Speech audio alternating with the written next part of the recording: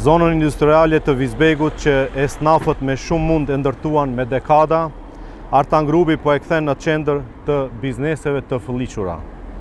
Lotaria e Maqedonisë së Veriut që drejtohet nga njerëzit më të afërt të Artan Grubit, së shpejti pritet të zhvendoset në zonën industriale në Vizbeg të Shkupit.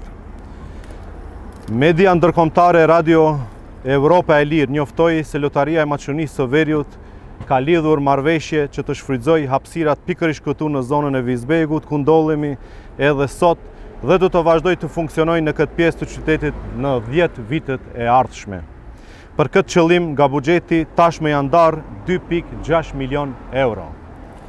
Në fakt objekti dhe hapësira rreth saj në prill të këtij viti janë blerë nga kompania Hey Doyle, e themeluar në shkurt të këtij viti, me drejtues Armin Mashoviç, partner i dikurshëm i Erxhan Sulkoskit në Pacific Petroleum, për të cilin mediumet kishin informuar se ishte i afërt me familjen e Ali Ahmetit.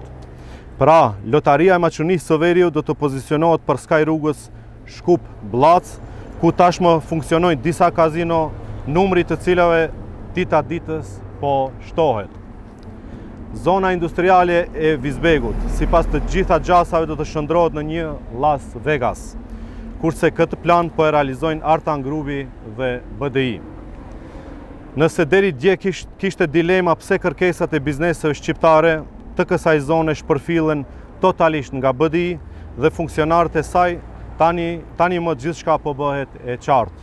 Ata paskan pasur në kokë një plan tjetër për këtë zonë, ta bëjnë qendër të bixhozit. Këtë zonë që biznismenët e ndershëm shqiptarë, esnafët, me shumë mund e ndërtuan me dekada të tëra. Artan Grubi dhe BDI mbrenda natës kanë vendosur ta shndërrojnë në zonë të kazinove, kredive të shpejta, hoteleve e moteleve.